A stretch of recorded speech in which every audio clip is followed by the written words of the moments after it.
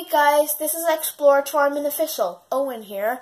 So we're going to do another Snap Circuits parts video. In the previous video, we did the S3 relay. Pay attention to this thing right here. This is the S4 vibration switch.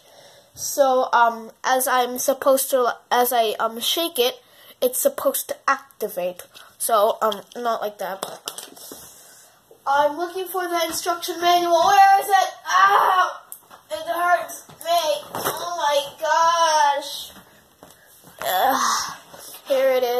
Snap Circuits Extreme. Sorry. Um. Alright, so.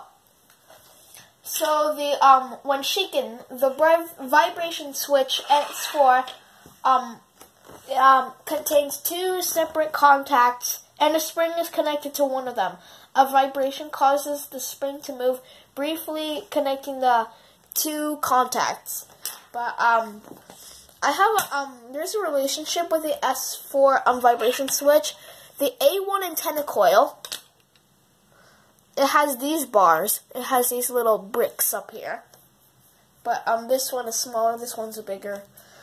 And and look here, it's um different because this one is covered, but this is not. You can see like what looks like what might look like a bit of coal for some reason. But anyways, um, I'm supposed to shake it. Let's just um put it right here.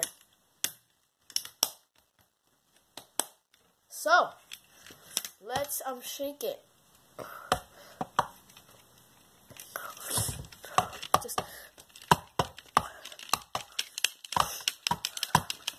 See that? When I shake it, this activates this.